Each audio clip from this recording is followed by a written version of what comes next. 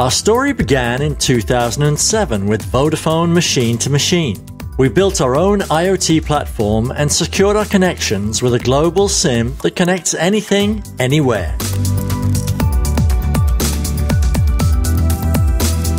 In 2013, we were part of the largest deployment of smart meters in the UK, and analysts positioned us as a leader in IoT for the first time. We entered the automotive market with the acquisition of Cobra and even put a spin on connectivity with a solution that helps farmers detect when their cows are ready to calve.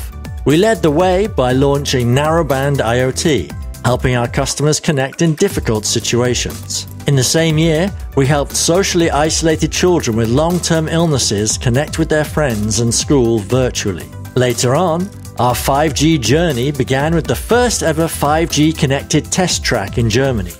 And in 2018, we changed our name to Vodafone Business IoT. We helped businesses maximize IoT with Vodafone Business App Invent and the next generation of integrated IoT SIM cards. And in December 2019, Gartner recognized us as a leader in the Magic Quadrant for Managed IoT Connectivity Services worldwide for the sixth consecutive year. We've surpassed 100 million IoT connections globally enabling all our customers to digitalize around IoT.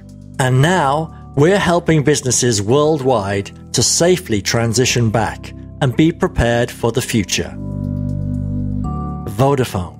Ready?